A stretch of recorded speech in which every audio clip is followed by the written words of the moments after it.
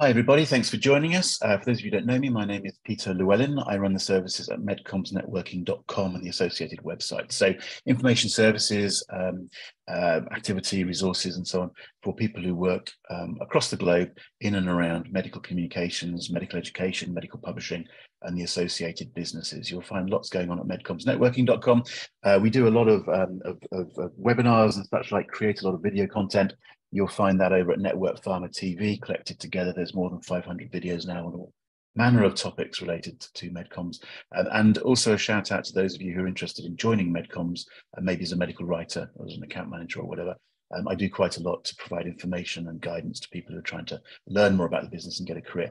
Uh, you'll find a lot of information at firstmedcommsjob.com and other places. So go and have a look around if you've not had a look around. Um, these webinars are great fun and it's great because we can involve an international audience. We've got a great international audience um, and quite a big one today. So thank you everyone for joining us. Um, today we're joined by the guys from Springer Healthcare IME. Um, we're going to talk about um, providing education to HCPs and the different formats and so on. So without further ado, um, I'm going to hand over to Elsbeth to introduce herself and start the presentation. Over to you. Perfect. Thanks, Peter. And it's amazing that so many people have joined. So um, really looking forward to today and having a really interesting uh, discussion later on. Um, so to introduce myself, I'm Elsbeth Headley. I'm Global Director of CME at Springer Healthcare IME.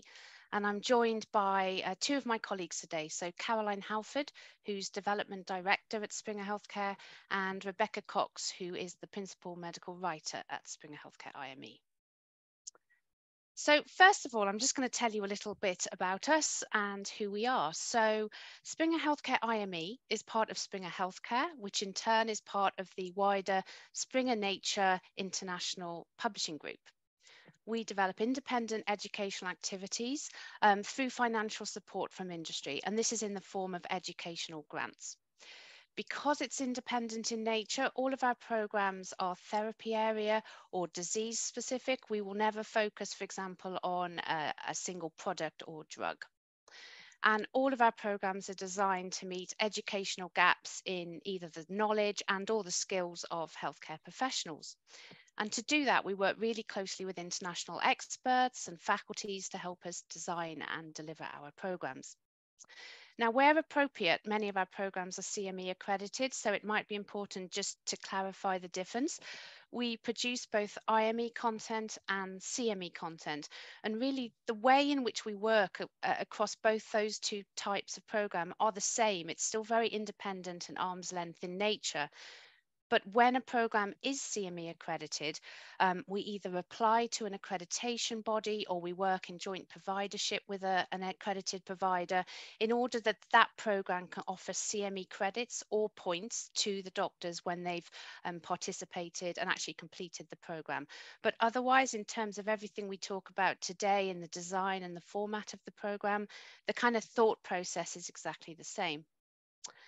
Um, again, because we're independent, we do um, run our programs with no influence from the funding company. So this extends to the design and the development of the program, the content itself, and then any choice of faculty or speakers we may make. Um, because of that, we also have to recruit and engage all of the audiences to our programs. So that really ties in with today's talk and why choosing the format is so important to bring in that audience. And of course, we have to measure and report back on the outcomes of the learning activity.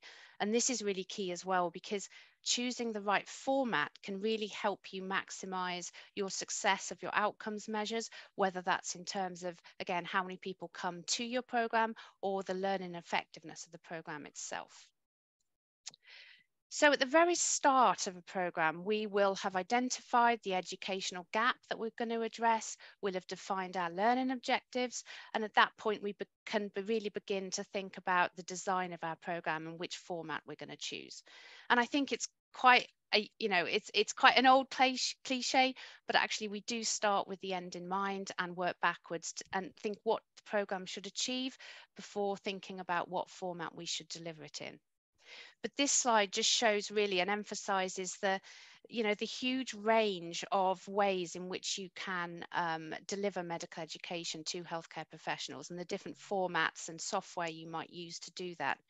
You might want to deliver a live event, so a symposia or a webinar. You might be thinking about an e-learning solution and maybe bringing in some case studies and real world evidence to those. Or you might be thinking much shorter bite-sized pieces of education, maybe a podcast or some very small um, expert interviews perhaps. And we have experience across all of these um, variety of formats, but what I should stress is this list isn't exhaustive. There are so many more and it's constantly evolving. So perhaps five years ago, um, we wouldn't have thought of social media as a, a, delivery mode for education, but now it's not uncommon to see that being used at all. So we really have to um, keep a pace and, and, and see what's happening out there so that we offer these different varieties of, of content. So what are the other things we need to bear in mind? Well, you know, doctors are just like the rest of us. They have different ways they like to learn and different preferences for how they want to absorb information. So some of them might be visual learners where they, you know, they really want to see sort of graphical representation of, of their content and the education. In this case, we might look to provide videos or maybe video animations or even uh, data summarized in visual, really nice visual infographics. That would suit these learners quite well.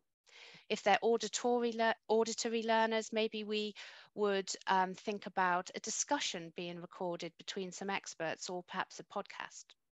If they like to read and write when they're learning, we've got options through transcripts, through infographics again, or even some downloadable materials that they might be able to print out and take with them on the go. And if they're kinesthetic learners and they like that hands-on, have a go style approach, then we have also, there's lots of options there. So that you can do quizzes, case studies, um, and really build a lot of interaction into your um, educational solutions and even some self-directed learning. So going back to what I just said a little bit earlier about thinking about what we're trying to achieve at the very beginning, it might be enough um, that you just want to maximize the reach of your data or your message. So you might just be concerned with making sure that the right audiences are aware of your data. And if that's the case, you might think about a live symposia or a webinar just to get that message out there so people know about, about that information or it might be really important to you that um, doctors have an increase in their learning and comprehension after taking part in a program so that they understand or they engage and they understand the clinical implications of what they're engaging with. In this case, maybe you might think of an e-learn, uh, e-learning solution and case studies are a really valuable tool um, when you're thinking about how to deliver that kind of content.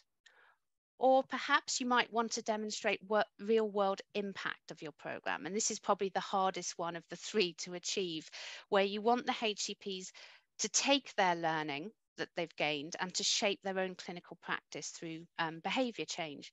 So in these cases, you might need a more in-depth program, um, something that might be self-directed, where the clinicians can actually see the application of data and guidelines into some sort of clinical treatment scenarios.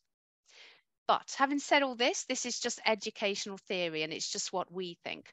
And we became really aware that actually we also needed to go out and see if this aligned with what our audiences, our HCPs actually wanted. Um, so we developed a survey um, and that we disseminated out to our HCP audiences. But I'm going to say no more about that because I'm going to hand over to Caroline, who's going to talk you through some of the results and what we found out when we did that. Thanks so much, Elsbeth. So yeah, one of the biggest questions that we get asked is what are the preferred learning formats for healthcare professionals? So we found this out through distributing a survey through three large European medical congresses, through social media polling, and through our IME database of learners. And we actually got near to 2,000 healthcare professional responses. And I've got the results on the next slide, but we were really pleased with that sample size. And once we had that data, we wanted to test out the theory on some real life projects. So we picked two projects, one of which was a rare disease program and one of which was in early stage breast cancer, just to see whether the contents and the formats that our healthcare professionals said that they preferred were the most engaged with and impactful. So next slide. Yeah, so here are the top line results for the survey. And in terms of what attracted our healthcare professionals to education, what they said was the vast majority actually said that educational format was the key driver. If the format is right for them, that is the, the, the thing that's most likely to make them click into it. If the content has CME accreditation as well, that was also a big driver. And interactive elements were also very, very popular. So uh, anything where, for example, a quiz or interactive case studies, something where it's not just static and them just watching something, where they could actually engage. Um, the second most high driver to education was length of format. So anything that took 20 minutes or more was an absolute no-go. It has to be short form content, that, like snackable bite-sized content. And they also told us that they really value the chance to ask questions, questions specific to their needs so that they could ensure that the uh, content was relevant. In terms of the opposite, what was going to deter experts from engaging with education, sort of the opposite of what we see on the left-hand side. So anything that's got a lengthy registration process where they're keying in too much data, big turn off, also, long form content. So we did ask them, what do you mean by that? And it was 20 minutes or more was a big no no. They also were anything that was not relevant to their therapeutic area or geographic region was also a big deterrent. So our experts are looking for targeted information that they can use in clinical practice if if it was an online program that was complex to navigate with lots of little clicks that you didn't know where you were going that was also a big no-no. And if it was if, if there was an unknown faculty if they did not recognize the experts leading the program that was also a big uh, deterrent. So thinking about our experts saying that format is the key driver we really wanted to dig into this more because it was 82% that said that learning format was the most important factor to them so then we went to ask, what do you mean by that? What formats are you most willing to engage with? Interactive e-learning was by far the most popular type of education. But then conversely, they also very much valued um, basic downloadable resources for on the go, on demand learning. So things like um, infographics or shorts or brochures that they could download and scribble notes on. Expert webinars led by well known faculties were seen as valuable. But the real kicker is the key takeaway is that when we asked them what their favorite formats was, there was no one size fits all, which is super frustrating because it would be nice if everyone said, yes, I love an infographic. But when we asked them to rate their favorite formats, as you can see here, there's such a wide range, like downloadable static materials, super popular, but then you've also got live webinars and on podcasts. So and I asked this poll on LinkedIn earlier in, uh, well, on Saturday, I think, and asking everyone on that's on this webinar, what is your favorite format? And that's also reflecting very diverse types of contents. So ultimately, no one size fits all, and we couldn't stratify it by therapeutic area or specialty. So it shows that a range of formats is needed. So I'm going to now hand it over to Rebecca to talk through our educational programs and how we implemented these factors. Thanks, Caroline. Um, so yeah, I'll be taking you through just two examples um, of how we've tried to implement and slightly experiment with the um, multi-channel, multi-format approach. Um, so the first example is one that's personally very close to my heart. I've been working on it for two years now. Um, but we were tasked with educating about uh, ultra rare disease called fibrodysplasia ossificans progressiva, which is a bit of a mouthful. Um, so for short is FOP.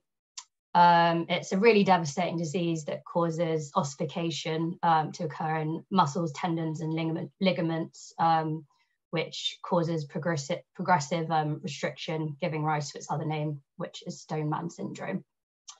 Um, so the main objective of this program was really to raise awareness of the condition, um, as many HCPs have never even heard of it, and misdiagnosis and mismanagement can cause real harm to people that have this condition with like minimal invasive procedures such as a biopsy causing this ossification to occur.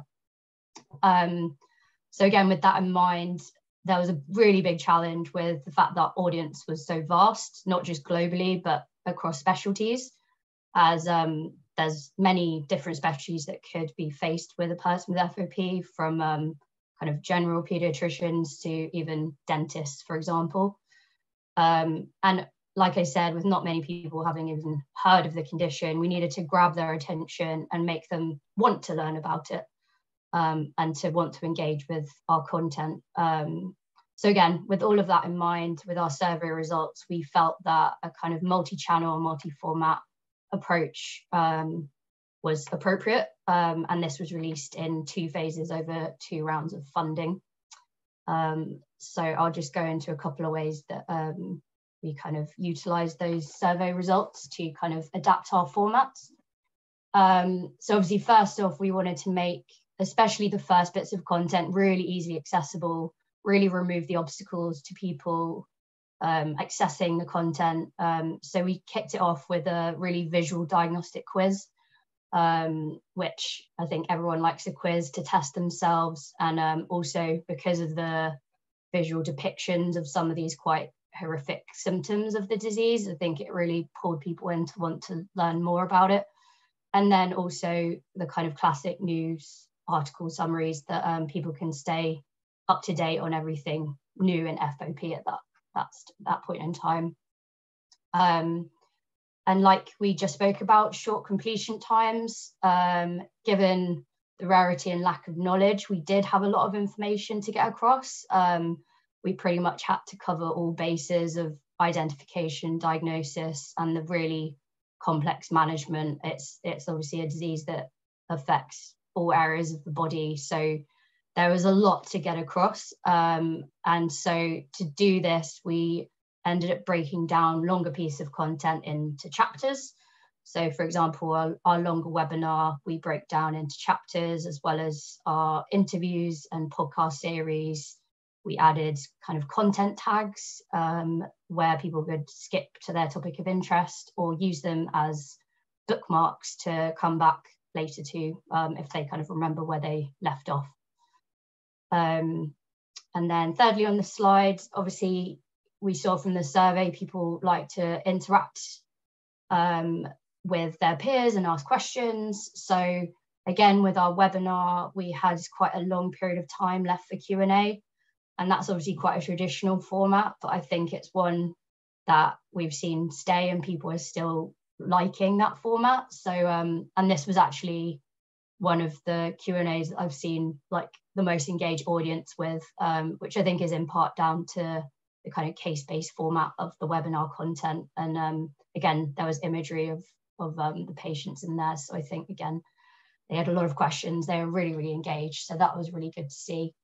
Um, and then we also set up a portal where healthcare professionals could submit a case to our expert faculty um, of if someone that they'd seen had FOP or not, or alternatively, if they were treating someone they knew had been diagnosed with FOP, they could submit their experiences to our faculty and just kind of, yeah, share their experiences, peer-to-peer learning.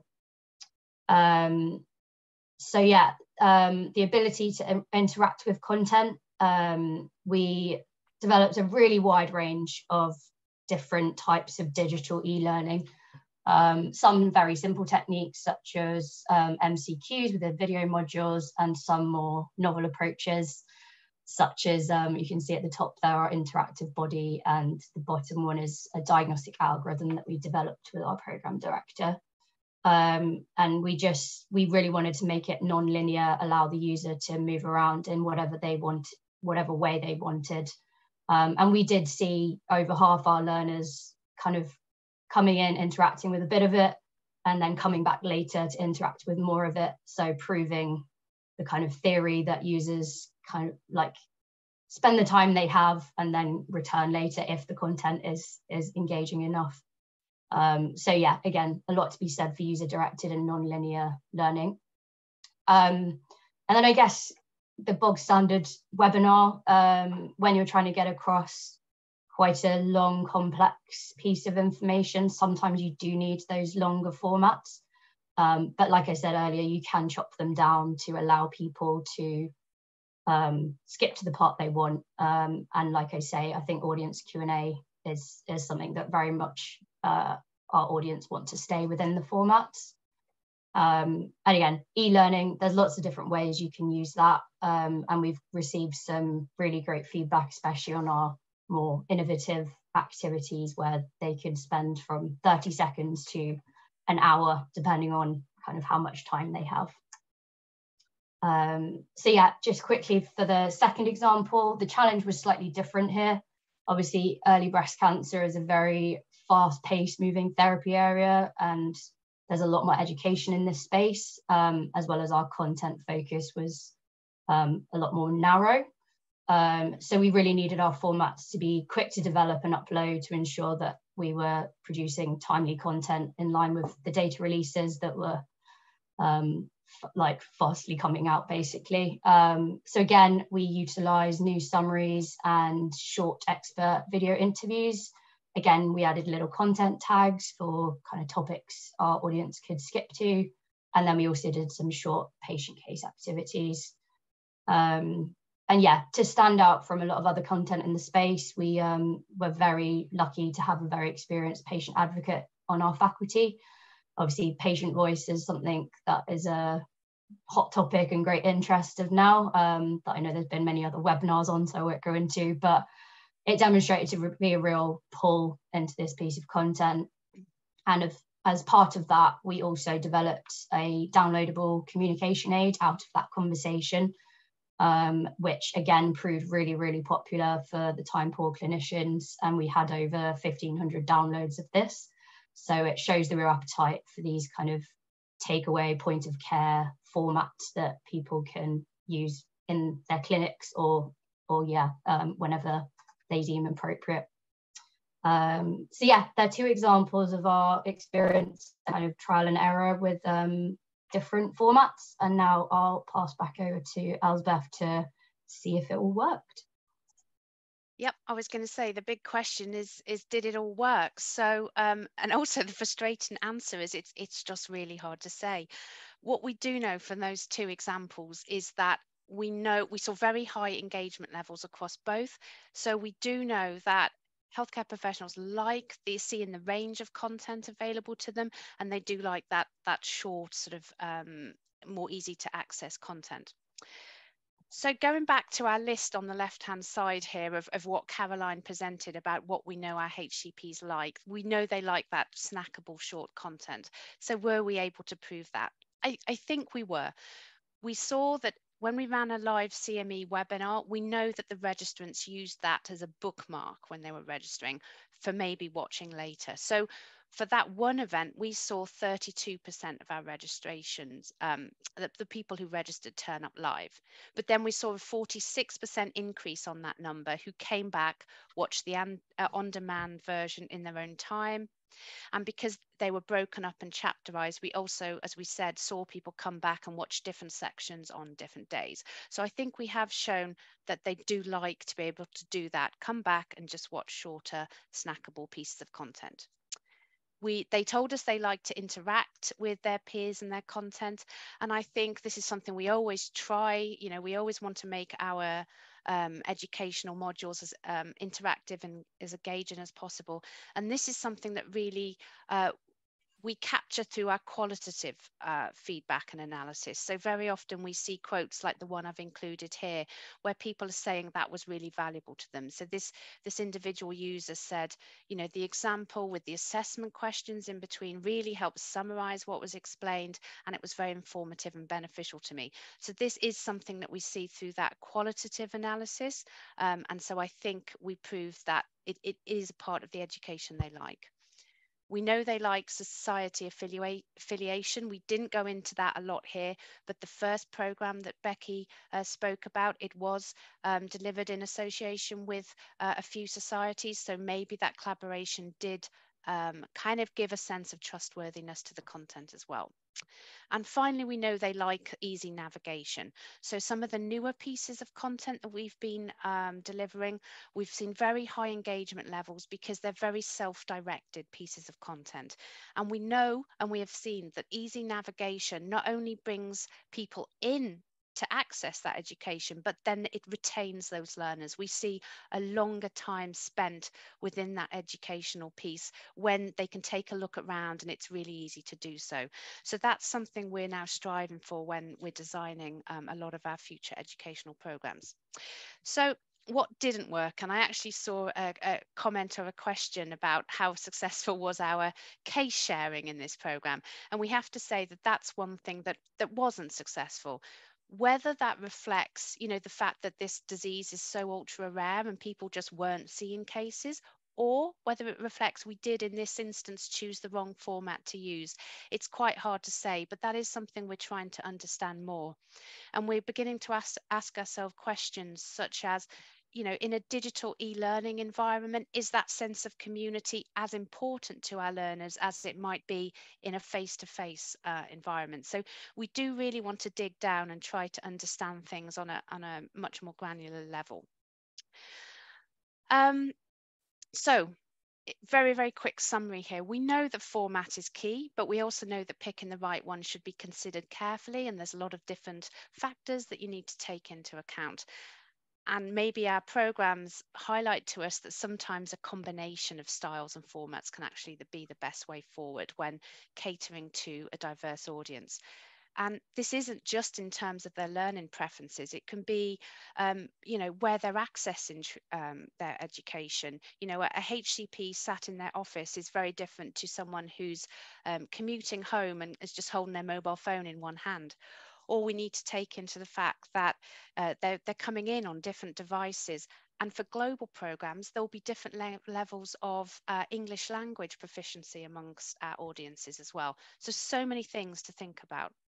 Um, and it may, a lot of what we said may appear common sense, but we do really believe that it was important to go out and ask our HCPs what they thought, just to validate and make sure that what we as an educational agency were thinking also matched what they wanted. So in summary, we know they're seeking personalization. So they want to come in and choose what they want to access and when they want to do it. We know that they like to see a range of content styles that suits their preferences. On demand options obviously fit into their busy schedules a, a bit easily, more easily and snackable content that they can come back to and return to. And then interactivity um, is really key as well. So the last point is I would just say, you know, this has all been great and we've learned a lot, but of course it's constantly evolving. And how we'll be delivering medical education in five years, you know, the landscape is going to be very different to how it is now or even five years ago. So I think the important thing is that we've learned great to ask our HCPs, but we're going to have to keep doing that and evolve with that. So we, you know, ensure we're always matching their needs with what we're delivering. And that's it really. So we're really interested. I, have seen so many questions come in and, and comments. So really interested to have a, a good discussion now on this. Fantastic. Okay, thanks, Elizabeth. If we stop sharing, that's great. Okay, um, as you say, there's quite a few questions and comments coming in, and I'd encourage the audience to carry on going. So um, we probably won't um, be able to answer all your questions, but please, you know, give us as much as you've got, and we'll we'll weave what we can into the conversation. Um, can I just start with some? Uh, just can I just ask start with some basic questions? And I might have missed the point there slightly, but I think it affects some of what uh, the question is about. Um, with your two case histories that you presented, are they being essentially delivered on your own platforms? I think yes, the answer is yes. Yes, they are. And again, that comes down to the independent nature of the content. So we have to be the host uh, of the content, and we will always, for every program, build a bespoke microsite that will house all of the content that we deliver as part of that program. Okay, so as opposed to, um, I take your independence point, but as opposed to using one of the healthcare professional platforms which have already got a community and so on, where you could build a microsite, for instance. So, I mean, yeah. I, I, just want to be clear on that, that you're talking about your platform, yeah? That's so, right. And certainly never, because of the CME IME nature, never sort of, hand, you know, a content package handed over to the educational funder for them to host. That's, that's what we're not able to do.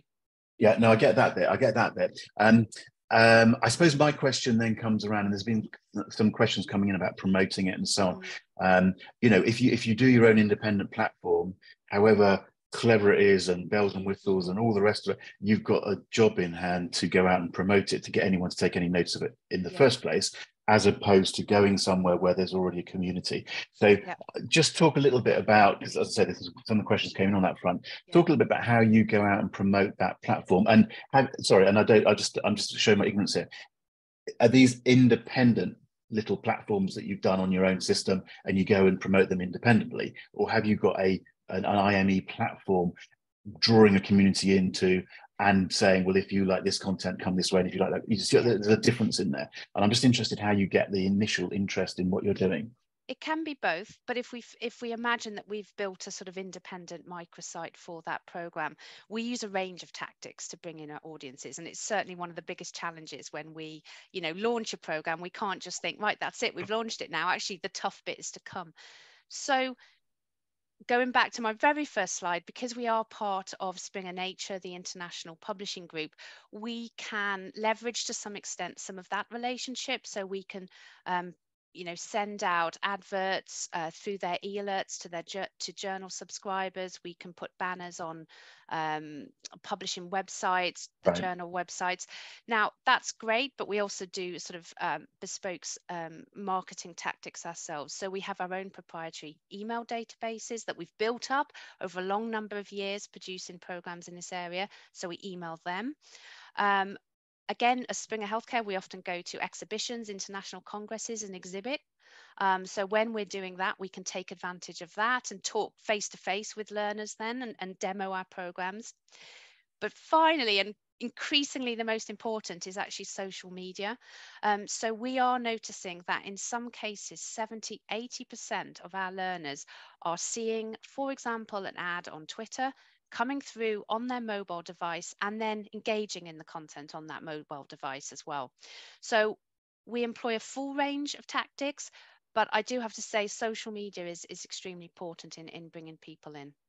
Okay, and that probably that answers Emma's question that's come in. Then we'll go with social media as the as, as the um, as the most useful. Okay, yeah. okay, and that uh, the basic point you made in several different ways through the presentation is you can't suit all the people all the time, and and you know that's that's like my life. It's just like you can't do everything, um, and people like things in their own ways and all the rest of it. But it's really important to think about that when you're trying to approach a project. And um, again, I'm just going for a couple of things I was a bit unsure about, and, and following this line of thought is your platform. Um, I think it was case number one. You said something like the quizzes um, at the top of that slide, something like the quizzes were freely accessible. There was no registration required or something. I wasn't clear what then happened. So on your platform, are people coming in and engaging with a certain amount of freely accessible content, i.e. they don't have to be a healthcare professional, they can be anybody. And then is there a point at which they have to then register in some way to become part of a verified database so that you can then do your IME CME program? You, you sort of see what I'm saying and where I'm going with that. Is that, is that basically what's happening? Um, so they like we have a disclaimer. Obviously, all our content is aimed at HCPs, so it, it's kind of the self uh, declaration oh, okay. of being HCP. It's not we're not aiming it at, for example, patients or the general public. So that's definitely like something that we always caveat on all of our content. Um, but in terms of the quiz, it essentially is like hosted on our microsite. So once people click on that, they can easily get into the quiz and it's it's kind of integrated into that page, as well as those news articles I spoke about. And then there was also a kind of sign up button, which obviously we were really uh, pushing people to do so that they could be um, notified when any new content came out. And then they became part of our database for that FOP site. So we saw that kind of build up over time. Okay, so accepting the fact that you've said this is clearly for H- HCPs only, I could come in and take the the um, the IME content, can I? Yes, you I can. Mean, and, and, my yeah. question, and I'm not trying to put, I mean, I'm just trying to understand context. And then my question, bluntly, is, you know, what do you know about your audience? Because if anybody can come in and take this information, take this this activity, in what ways are you establishing that it's healthcare professionals coming in yeah. and that they are actually doing things in the way you want to because part of this loop is we've gone out and found out what hcps want to do we're delivering it mm-hmm. how do we know that the audience is actually the audience we want in order to mm. say that it's actually delivering what we want to deliver you see what i mean i'm just trying to clarify that well for some of those more sort of uh, in-depth content pieces, there is a registration process. So it's nice to come in and, and see the news or the quiz perhaps, but they have to register. They have to declare they're a healthcare professional and they state where they're based and, and what their specialty is. I get, you know, it is self-declared in some of those cases, but we also have, um, you mentioned earlier, a healthcare um, professional um, platforms. And we, we've just launched a new one now within Springer um, Healthcare um, called springermedicine.com. And for that, there is a validated HCP right. process where it will be checked and validated before you enter some of the content there. So it can be both. And, and perhaps we are moving more towards the stricter validation um, style. Okay, okay. Caroline, looks like you want to say something. Go on. Yeah, only because I've just seen a comment coming about the social media as well, because that that is a good point. Mm. Like that using social media sort of can negate the healthcare professional thing. What we do for uh, certainly for a lot of the recent programs I've worked on is we we only target validated, verified healthcare professionals. So the the the IME CME tweets that have gone out for specific programs, I wouldn't see them, including the polls, because I'm not a verified HCP. So we work really closely with um, specific sites, social media platforms to make sure that only the right experts in the right geographic areas see the content. Okay. Um, I saw a question come in, which is worth just touching on, but let's not get bogged down it because you did sort of address this, but asking about pharma company funders and approval of content. But essentially, and, and, and slightly simplistically, but we're talking here about medical education in terms of IME slash CME. And I think you did say, and let's just reiterate that what that means is it's grant funded, it's arm's length from the funder.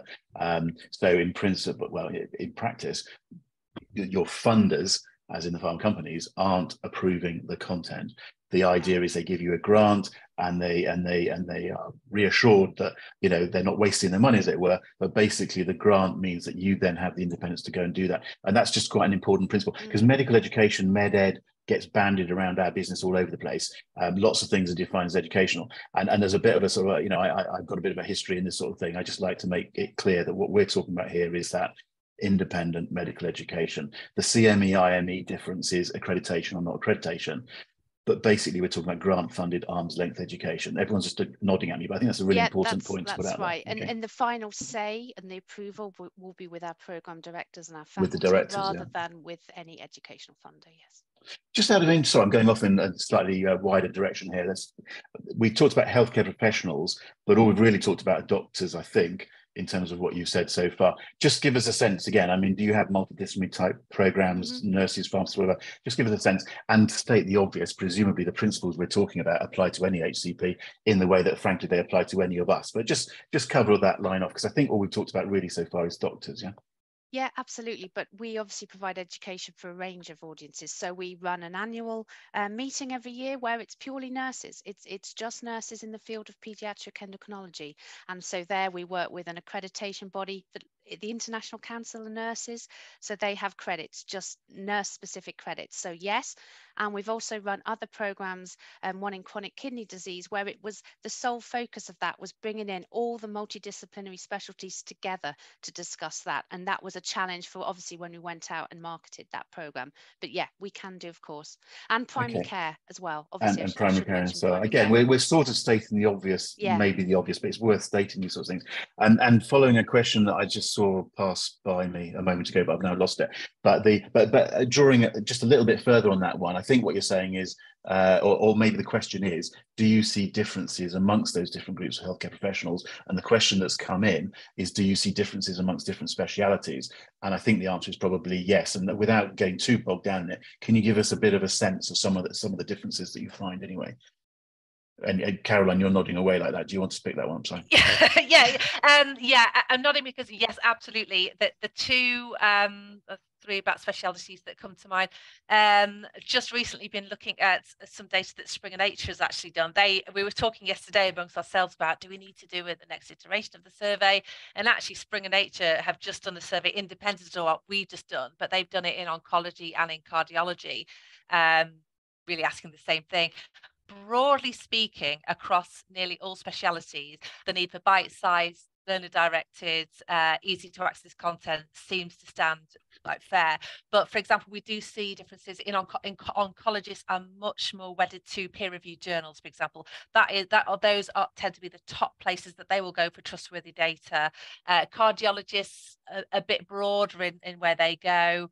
Um, surgeons are, are are a different kettle of fish altogether where they they can't just dip in and out uh, so they are absolutely wedded to maybe more interactive pieces outside of work hours so there are nuances that god you could have a whole webinar on exactly, that. Yeah, but yeah, yeah, yeah, yeah, yeah, yeah. And I, I, I realize that some of these topics we could have entire webinar. In fact, we probably have had entire webinars on. So we're skipping over the surface a lot of this stuff. But if we're giving, if we're giving people a sense of the sorts of things to think about, I think we're doing something useful.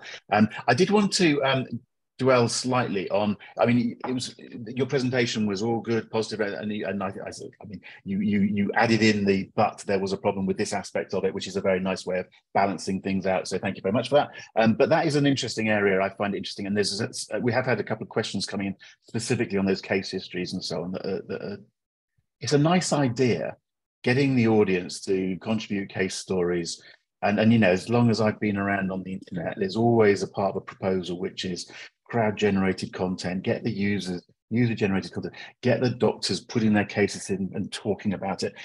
Because that's great and it's very engaging. And frankly, I can sit back and drink my cup of tea while they're dealing with it, sort of thing. Okay. I'm sort of interested because I, and I do think you sort of touched on it and the questions are touching on it. That's really very difficult to make happen in real life, isn't it? It's a nice story, but it's very difficult.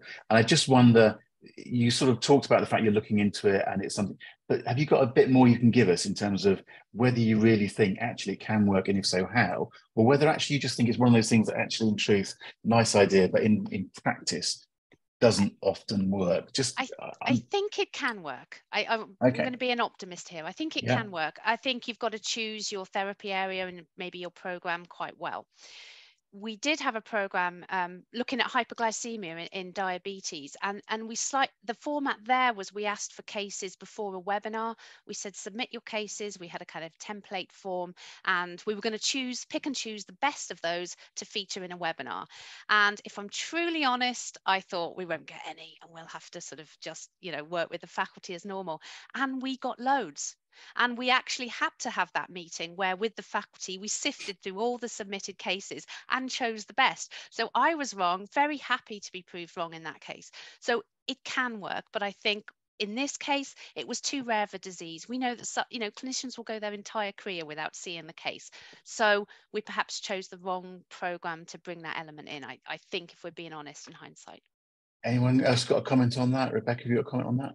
Yeah, I think I, I would definitely agree. I think it does depend on the the therapy area you're working in, and also I would just say in terms of format, I do sometimes wonder if in kind of live situations where they're very kind of engaged with what you're already talking about, they're probably a bit more likely to share. So going back to the webinar for FOP, um, as I said before, like that was one of the most engaged Q and A's I think I ever saw, and they weren't necessarily sharing cases, but they were sharing like a lot more of their practice. So like I can't think of examples, but I just think when they almost feel like they're in that group environment, they might be a bit more likely to share than a kind of form on a website.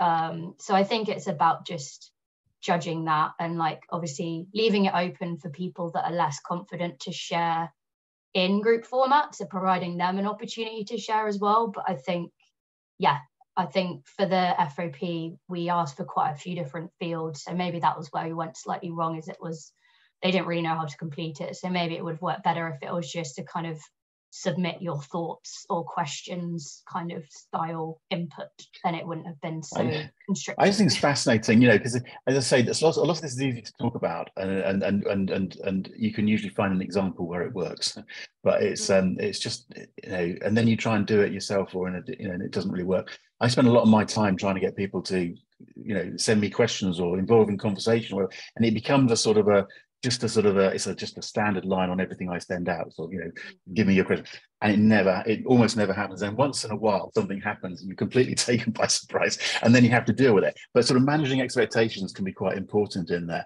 And I think one of the problems also is, especially in like a, a, public or semi-public type environment where you're asking questions, if you're not getting questions, it becomes a completely self-defining uh, thing because nobody will join in after they've seen that nobody else will join in. So there's, there's, I mean, I know there's tricks and there's ways of doing it, but it's just more challenging, I think, than than than necessarily people think if they haven't actually tried it themselves. To be frank, um, I get we're, we're as usual we're running out of time. We've got quite a few questions there. Um, I think we've covered some good ground there, and I think we probably ought to wrap up. Caroline, to be honest, it looks like you want to say something again. So, do you want to have a final word on what we've been talking about, and then we'll draw a line here for the recording? Okay. Yeah, thanks, Pete. This is just a really quick comment. just reflecting on what you were saying about, you know, what what encourages people to share, uh, and I think what what you've all said really reflects with what I sometimes see with the journal media, uh, journal social media. Um, because you're and I think it is about creating that ecosystem where people feel comfortable enough, they have enough information in enough different formats to um, give them the confidence to open up because you sometimes see this with journal articles especially like uh, with the patient physician perspectives for example are really good examples where there's loads of articles that get no alt metrics you know the journal tweets it and then no one picks it up. You get some where it's the right format of like a patient voice, healthcare professional expertise. There might be an interactive infographic, and you just you see one person tweets uh, with their experience, and then it becomes a snowball, and, and it, it it quickly becomes into a community. But it just shows that there's a lot of nuances with each different community about how to get them engaged, and and. yeah, I think it's a mix between format, comfort level, accessibility, and yeah. confidence. And also, I mean, on that particular example, it can often depend on who the person is that tweets first, yes. as it were. Because if it's the right person who's got some followers or cap, you know, it's all there's an element of luck in there as well. Um, so there's a lot of different elements in there, which I think is, you know, we've covered a lot of that off um, I am going to have to draw a line to that. Um, uh, those of you in the audience at the moment, don't all rush away because we have got a few minutes and we will carry on talking to the top of the hour.